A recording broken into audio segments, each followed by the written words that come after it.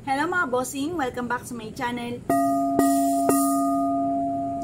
Kayo po ba mga bossing ko isa sa mga mananaya at isa ka sa mga nagnanais na magwagi na limpak-limpak na salapi or nagnanais ka na makakamit ng malaking halagang pera. Kayo po ba ay may negosyo mga bossing? Asya, kung kayo po ay may negosyo, mahilig kang tumaya, mainam na meron kang ganitong balahibo na aking babanggitin. Nako, ewan ko na lamang kung kayo po ay matalo pa. Ewan ko na lamang kung kayo po ay mamoblema pa tungkol sa usapin ng pera. Ito po ay maganda rin na susunugin po natin mga bossing. Panawagan po yan sa numero na inyo pong tinatayaan. Kaya kung kayo po isa sa mga mahilig sa mga gantong pampaswerte, dahil lahat ng mga mananaya, lahat ng mga negosyante, mahilig po yan sa pampaswerte. Ngayon po mga bossing, kung kayo po naniniwala sa mga gatong mga pamamaraan, ang video ito ay para po sa inyo.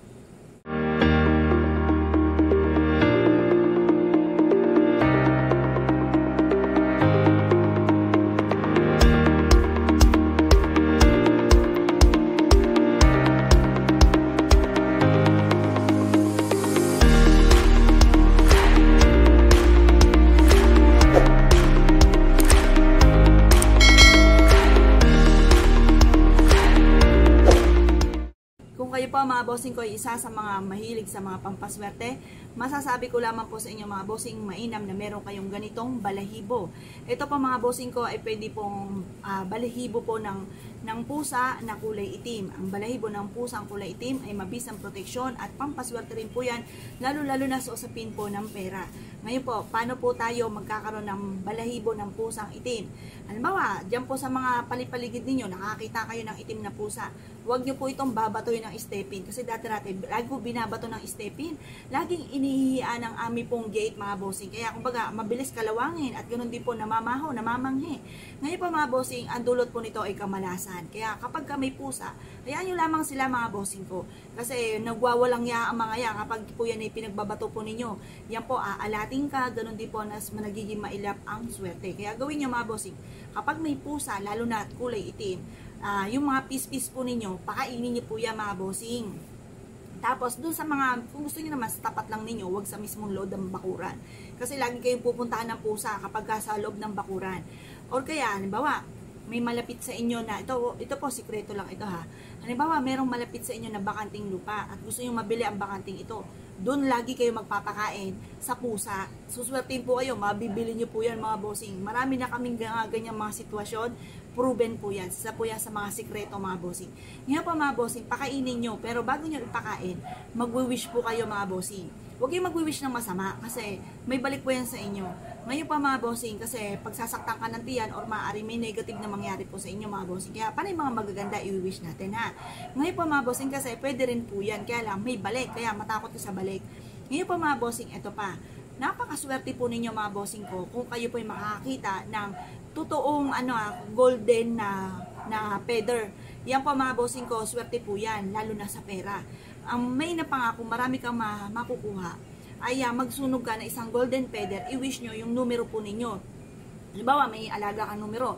I-wish nyo na ang numero kong ito ay manalo ko ng jackpot. Tapos, i-wish ng paulit-ulit mga bossing. Tapos, sunugin nyo po yung golden feather. Pwede rin po ito sa black feather. Kasi baka sabihin nyo, ay, ayoko ng black. Ang black mga bossing, mabisang protection po yan. Yung mga feather na mga bossing. Huwag kayong matakot. Yan po ay mabisang protection at yan po ay swerte. Lalo na sa mga mananaya. Ganun din po yung mga itim na pusa, mga bossing. Yan, yan po sinasabi na malas kung pinanganak ka ng Friday the 13. Halimbawa, 13 ka 13 ang birthday mo, tapos nasakto Friday the 13, tapos may pusa ka nakita, or kaya biglang may ibon, or kaya may manok na kulay itim na itim na dumapo sa inyo, malas po yon Pero kung hindi ka naman uh, ah, 13 pinanganak, or hindi pa nataon ng Friday the 13, hindi po yan malas, swerte po yan mga bossing.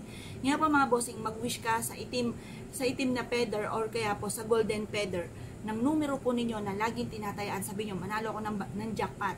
Yan po yung mga rare naman mga bossing. Hindi naman basta-basta makukuha yan. Yung mga rare na yan, yan ang tinatawag na napakaswerte. Mag-wish ka na ikaw yung manalo ng jackpot, matutupad po yan. Basta sikreto lamang.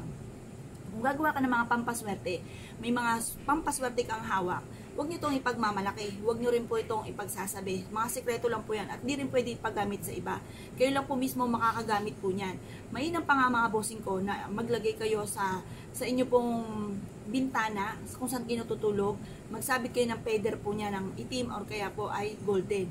yan po ay mabisang proteksyon at kayo po ay para swertein, mas, mag, mas maging magaan ang daloy ng swerte, lalo na sa pera. Yan po isa sa mga sikreto mga bossing. Ha. Gawin nyo na lang mga bossing, huwag nyo ipagsasabi po mga bossing. Kaya kung kayo po naniniwala mga bossing, mag-wish ka na ng mula sa inyong pong puso once na meron ka pong ganyan mga bossing. Para tuloy-tuloy ang pasok ng swerte at kayo po mabilis matupad ang inyong hihilingin kapag magmumula po sa puso ang inyong kahilingan. Walang gamit na sana, direct to the point. Kung kayo po naniniwala, good luck po sa inyong lahat mga bossing ko. Yan lang po mga bossing. Salamat po.